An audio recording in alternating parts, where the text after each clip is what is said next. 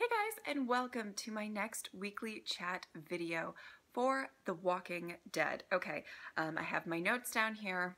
I'm just gonna get right into it because I have a lot to say. So I'm gonna start with good old Daryl. Um, I think that's a good place to start and his plan. Um, sorry if I look down at my notes a lot. I just wrote a lot, so I don't really want to miss anything. So um, the first thing that I want to talk about was I really think that it's interesting that the trio that kind of went through with the plan um, are all people who are fairly, at this point, damaged um, in one way or another.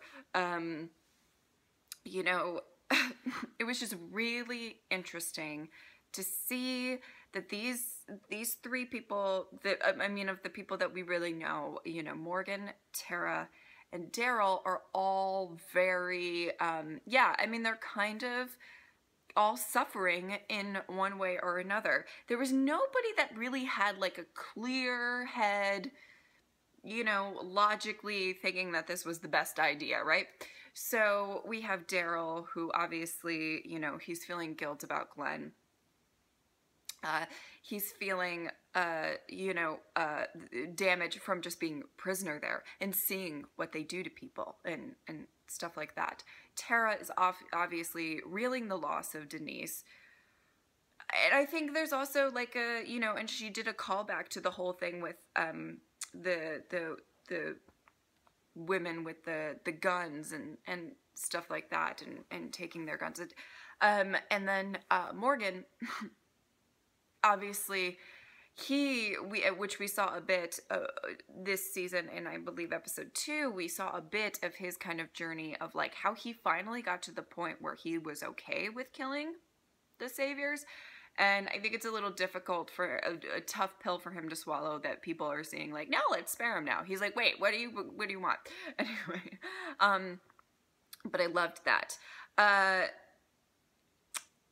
rosita loving Rosita this season. I mean, she rocked the, the RPG, obviously always a good thing. Um, but I, I believe in Rick Grimes. I believe in Rick Grimes. I loved when she said that. It was me. It was, I was just, that's, you know. I got a few tweets about that, by the way. Um, I mean, I tweeted about it, but I got a few tweets anyway about that when people saw that that that my Twitter bio says I believe the in the power of high heels, tacos, and Rick Grimes. So people just um, were tweeting me after she said that. But the other thing that I absolutely loved that Rosita said uh, when kind of discussing whether they should go through the, with this plan is, um, you know, uh, what she said about Sasha. I loved that she was like, it, it, it sucks that it took seeing, you know, Sasha's dead body coming out of a coffin, you know, to, for me to realize I was making rash decisions. I like that. Um, I thought it was interesting looking into uh, Michonne and that I like that we kind of saw that she's having a bit of an issue because she is such a warrior and she wants to be on the front line. She needs to see it happen. She needs to see it through. She was kind of the driving force for Rick um, in that conversation that they had in the, uh, the mid-season finale of last season where she was kind of like we gotta we gotta go we gotta do something you know um it's not okay just to be living like this under you know negan's rule or whatever um so I think that she really, really needed to be a part of it, and the fact that she wasn't was uh, a bit difficult for her. But I like that she kind of said, you know, it's not worth risking us. And Daryl said, it is for me. And even though I don't agree with this plan. I didn't like that it was happening. I do feel for Daryl. Does that make sense? Like, I don't, I do not, I'm not into what he was doing or Tara or anything, but I do feel that he's so damaged from everything that I feel so like strongly um, for him because you can kind of tell that he's just he just wants to end it and he's just trying really hard to figure out a way to end it. Um, but I think it was interesting that Michonne said it's not risking us, and he said it is for me. Uh, so, uh, question that I'm going to um, put out to you guys: Do you think Daryl's actions will cause someone else to die? Um, And follow up for that, do you think Daryl would ever be able to come back from that? I'm I mean, I have a little pit in my stomach. Like I severely hope it's not Michonne. Cuz they had that moment where she's like it's not worth risking us and he said it is for me. If for some reason, you know, I mean, I honestly believe that the Saviors would have stayed there debating what to do um, with the walkers outside of the walls. Um, but Daryl's plan kind of forced them to fight their way out, and they were able to fight their way out. I think because of that. Uh, let me know what you guys think about that. But I hope that they really ran out of like a lot of bullets or something on the way. Lost some people. I don't know, something like that. Um, but yeah, I mean, so I'm just so nervous that it could be Michonne that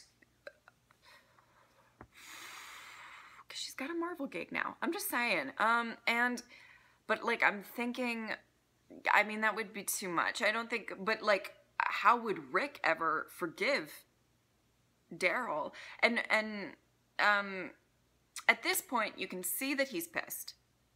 Uh, you know, when he sees that there's no walkers there anymore, and like, what the fuck? And where's his snipers? You know, we have some issues here.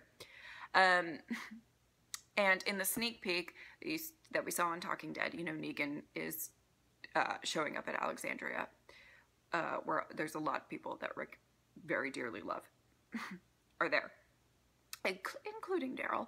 Um, and so, yeah, my next question is also, uh, will Rick forgive Daryl for that? Or do you think that there's going to be more tension later on? Should he forgive Daryl? Question for all of you guys um, to kind of, you know, see what you guys think. Okay, um, so I'm going to talk a little bit about Rick very briefly with him and Jadis. I, um, that was interesting. I, I gotta say, I really did like uh, Rick's kind of badass moment at the end, but I really don't know why they didn't just shoot him. I mean, maybe the thing that I can think of is, you know, that they do, it does seem that Jadis and the crazy trash people want to make a good deal. There's a fucking fly. I don't know if you heard that, but it went right over the camera. I'm going to kill it. Oh my god. Driving me nuts. Anyway, um, so um, I think, uh, what was I saying? Uh, did he prove himself? I mean, I think that they want to make a good deal. So maybe if they do actually genuinely believe that he is on the winning side or that he has the fight in him, maybe that's why. Um, I gotta say, I don't love the trash people. I would rather them not be allied with them because you can't trust them for anything. But I gotta say, they are very enjoyable to watch. They're very uh, weird and kooky, and I'm kind of uh, excited about that. Um, I still do not know if we can really trust them by any means uh, going forward. Um, I'm slightly concerned that Rick is just chilling with them, like in the road. I don't know. What the hell? Um, next on the list is Dwight, Dwight, Dwight. Okay, so my first question that I'm just going to pose out there for you guys uh, to answer is, um, will Dwight end up killing Eugene? Do you think? Um, I am loving the dynamic that they're kind of weaving together between Dwight and Eugene this season, and but I have a feeling it's going to end in somewhat of a tragedy for somebody.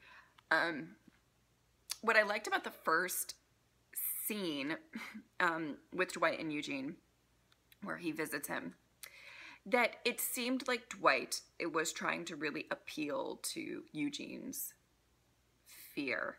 I loved that kind of dynamic um, because that's how you work Eugene, so to speak. Um, but the problem is Negan is doing the same thing and possibly doing it a little bit better. Um, but it was funny because I like when I first watched it. I think I said it in the reaction when I first watched it, and Dwight was like, you know, the saviors are finished, Negan's finished, everything's finished. I was like, why are you, why is everybody like saying this like it's a done deal? Like we need to stop. However, when I rewatched it, I kind of said to myself, like, oh, no, no, no, no, no. Um, like, I think he's actually just trying to say that to Eugene. Whether or not he believes it, he may believe it, but to scare the shit out of Eugene. So I thought that that was kind of interesting. Um, I did like when he said, you know, you don't got blood on your hands yet. Um, that Dwight is super scarred by what he's done, kind of in the name of Negan. Um, and maybe Eugene doesn't feel that insane amount of guilt or that insane amount of anything like that. Um, that I do actually think that Dwight is slightly suffering from. I don't think. If you go back and kind of watch the scene where he he kills Denise, I mean, I'm assuming that that probably stuck with him even though he said it in a cocky way in that episode where he was like, I wasn't even aiming for her, you know. But I think over time, it's probably gotten to him a little bit. And God knows what else, you know. Um, I think that that's uh, he's he's currently dealing with some past demons, as is Eugene. So I, lo- I love the dynamic between the two. Um, so uh, the number one thing that I wanted to kind of ask you guys because I have a deep, obviously, I have a deep love for this show. It's my favorite show of all time. And I have a deep love for the characters, even when they're not really doing like what, you know, the, and I've kind of lost faith in them a bit. Like I've the, the roller coaster of Eugene, which I'll get into of this episode for me was tough because I'm a big fan. I, I like Eugene and ugh, driving me nuts. But it was interesting. I watched um, the reaction compilation that Skybound does, which you guys should check out because it's always really cool. Um, but everybody, like, or not everybody, but there were a lot of reactors who were really like in that scene where on the rooftop where Dwight had the gun to Eugene's head and they were like, shoot him, shoot him, shoot him and I just didn't have that reaction. I, I even when Dwight shot the gun, I was like, like ah, ah, Eugene, like, which is strange. So I, I, I want to, which I know that like I, I don't know. I just get really attached to like all of these characters, and I'm definitely the type of person that if a character intrigues me, which Eugene is doing in this season, whether or not they're good not, I kind of like them to stick around because I like you know getting into that more but I was, I really wasn't. So I wanted to ask you guys, did you want Dwight to just shoot him on the roof? Are you done with Eugene? I mean, I, I know a lot of people are, and in a sense, I am as well. Um, but I just don't think I was ready yet. Like, nervous. All right, so now we are going to move on to Eugene. I absolutely adore uh, Eugene, the spotlight on Eugene this episode. I have no problem admitting that I am definitely one of those people who has just been like wanting, like cl- clinging on to every little thing that I can that Eugene can possibly fall on Rick's side. It doesn't really look like that's going to happen anymore, but this whole episode was such a range of emotions for me because I was like trying to think of, you know, um when uh, like when is going to be the moment that Eugene is really going to step up and I'm going to be so happy. And it just didn't happen. But nonetheless, they did it really, really well. Um, so uh, I loved that they put Eugene and Gabriel kind of in this sort of, um, in this scene together and seeing the difference between the two. You know, Gabriel is a, is a person who couldn't really live with being a coward anymore. But Eugene, what I loved about this episode, one of the best things for me was watching Eugene convince himself, trying to convince himself that he's doing the right thing. That he's, you know, he says, you know, to Dwight, we're saviors. We save people. And and the whole thing with Negan, like, do you like saving people? Yes, I do, you know. Um, and him keep referring to them as traveling companions. They're traveling, but there's nothing more he is trying to convince himself that it's better to not risk your life and he is really put whenever you feel just in general, I feel like anybody who feels kind of guilty about something, um, it's a lot easier to come up with excuses and reasons and all of that stuff to say, oh, I'm definitely like a, you know, um, like I'm doing the right thing or it wasn't that bad or whatever. Um, you know, instead of like actually admitting to yourself like oh i am just not risking myself and all of these people risk their lives for me but they you know i didn't ask him to do it so i don't care like whatever you know i i think that he's really trying to uh you know deal with that um on another uh, quick note, my heart completely goes out to Gabriel right now. Eugene just yelled the fuck at and like at him, like it was crazy. Um, but also, if Gabriel is actually dying, there, and that's a question that I want to ask: Do you guys actually think that Gabriel is faking or not faking? We haven't seen a bite. I'm just saying, we haven't seen a bite. And a lot of people are saying, I feel like the sweat and the shivers and all that, that's kind of hard to fake. But we haven't seen a bite. And um, the doctor, I mean, he might have just told the doctor, like, I'm trying to get you to the hilltop. Let's try to do this. I don't know. So let me know what you guys think of, about that, if that's, you know. Um, so moving on to the scene with uh, Tanya, I believe um, is her name, and he um, Eugene says to her, you know, are are you not distressed that we are trapped? And she said, I was already trapped here. Eugene is entirely comfortable being risking some morality, risking some whatever you want to call it, um, as long as he's safe. It calls back to that whole thing um, in the, the sixth episode of season six. Six episode? Yes, six episode. Um, where uh, Daryl meets Dwight, and Dwight kind of, you know, Dwight says, you know, people will, to some effect, I'm not going to get it word for word, but, you know, people will do anything to be safe and they'll kneel just to feel safe or whatever. And I think we're seeing a really interesting close look at that through the eyes of Eugene. Um, and he just doesn't seem to grasp that people aren't actually happy there. There are people that aren't actually happy there. People like Tanya. Um, and she's like, I don't give a shit. Like, I like her kind of mentality. Like, oh, Walker's gonna eat me. Oh, how horrible. My life has been so dandy up till now. So, I mean, I, I just, you know, it's interesting.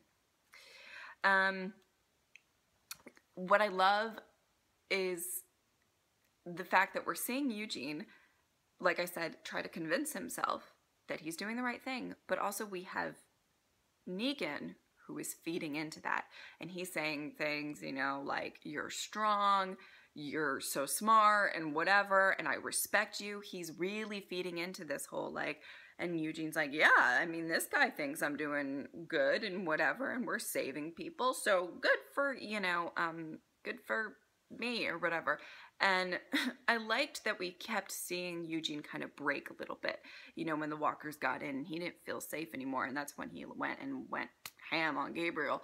Or, you know, when he was in his room or drinking the wine. Like, we're seeing him kind of have these issues of like breaking almost. Um, and that's his inner turmoil coming out. That's his guilt coming out. I mean, in all honesty, I think, um, you guys can let me know what you think about that, but, um, yeah, uh, I loved, I, I like that they showed Sasha's, the coffin that Sasha was in. Perfect. Beautiful way to kind of just reiterate to Eugene, no, actually, if you risk your life, if you do this thing where you're risking your life and putting yourself out there and saving people or whatever, um, you're gonna die. You're gonna be in a coffin. It was like a very literal representation of that. You know, he doesn't need much more representation than, you know, Glenn and Abraham. But you know, um, and and as soon as he made a bullet that he was not entirely that Rosita used that got Olivia killed, you know, he's he's had kind of examples thrown into his face of time and time again that if you're strong, you know, like, because we're our internal mine, I'll, I'll, say mine because I know some of you are just so done with Eugene. I totally get it too. Don't worry. Like, I do understand. Um, but like, my internal monologue watching the episode, and I'm like, Eugene, like, come on, be strong, whatever. But I mean, the, the evidence, he's a logical person. The evidence is stacked up against that. Like, all these people who are strong and risking their lives and doing these things uh, have not fared too well in this, you know, they're all dead. Eugene's still alive. Just saying, that's kind of how his logic is going. The speech that he gave to Gabriel absolutely gave me chills. I loved it, loved it, loved it. So amazing. Josh, you killed it, you killed it, you killed it. Um, okay, so I have two more questions to wrap up this uh, weekly chat. Uh, the first one is why don't you think Eugene gave up Dwight? Um, do you think he really just doesn't want anybody to die? Do you think he's using it for ammo for later or something? Uh, so let me know what you guys think about that. And then the last thing, because this was an episode that had such a strong spotlight on Eugene, what do you think is going to be the course of his character? Do you think he's just going to die? Do you think somebody's going to kill him? Like Daryl's going to kill him? Rosita? Be a weirdly poetic kind of thing with Rosita. I mean, because you got to think about how many people that she's watched die for Eugene. Because we talk about before we even met Abraham, Rosita, and Eugene. Interesting, right? Um, do you think he is going to come around and at the last second risk himself for Rick's group? It doesn't really seem like it. Do you think you know, um, do you think he's just going to survive and just be like Negan's right hand man and like, all right, here we go? Um, yeah, let me know what you think about his journey. Um, so, going into the mid-season finale, I'm very nervous, especially when they end the fucking uh, episode seven with like you know make sure you watch next week for a big moment. Like what what the fuck are you talking about a big moment? I don't need any more big moments. I'm good.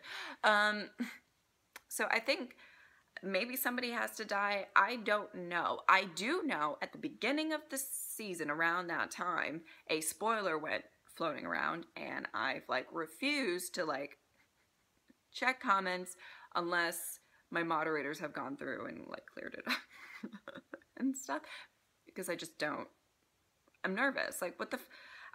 I just don't want spoilers, and it's so get, very difficult when spoilers get leaked and you're a reactor and you're like, no.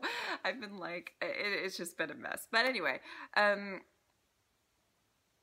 I don't know what it is, but I'm assuming it's a big death. That could be something. Um, I kind of know where the comic book story goes from here, so I'm thinking some other things that maybe may not be death oriented that it could be. I'm not sure. But anyway, um, I'm nervous and I have so many uh, I'm excited, but I'm nervous, and I hope that uh, tomorrow is going to be slightly kind to me, and I won't be like crying my eyes out right here on this, where I sit right here on the couch and uh, bawling my eyes out. I guess we'll see. I'm I'm so fucking nervous. I can't even end this video correctly. Anyway, okay, thank you guys so much for watching. I will see you tomorrow, and hopefully let's not cry, but I probably will. All right, bye.